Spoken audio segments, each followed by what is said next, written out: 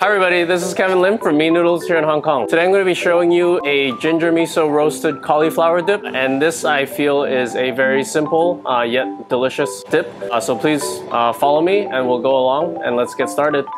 So here I'm using cauliflower, but in your case you can use broccoli if you prefer. I'm using a red miso paste here, but feel free to use white miso if you prefer. Uh, just have to adjust the saltiness, uh, so it's the amount you're going to be putting in. So here I'm just using quarter cup of miso paste, quarter cup of minced ginger, and to that I'm adding half cup of olive oil. You just want to mix this up until you have a smooth paste. Next, you want to just cut up the cauliflower and cut them into smaller florets so that they will cook more evenly in the oven.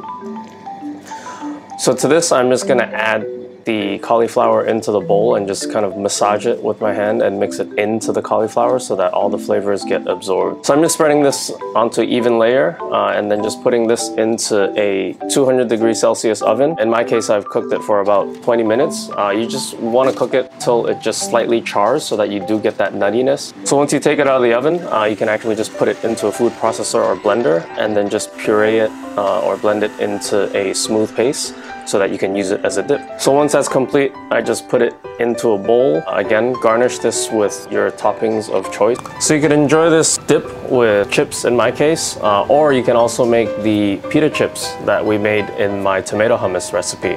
So that's how you make this simple ginger miso roasted cauliflower dip. Please feel free to change the ginger miso portion. Uh, you can use flavoring of your choice. Uh, roasted red peppers uh, or even a pesto uh, works well with this recipe. I just like the cauliflower because it gives it a little bit more of a healthy base uh, as a dip. If you like this video, please hit that like button below and also subscribe. If you have any questions, please leave it in the comment field below. Look forward to seeing you next time. Thank you. Bye.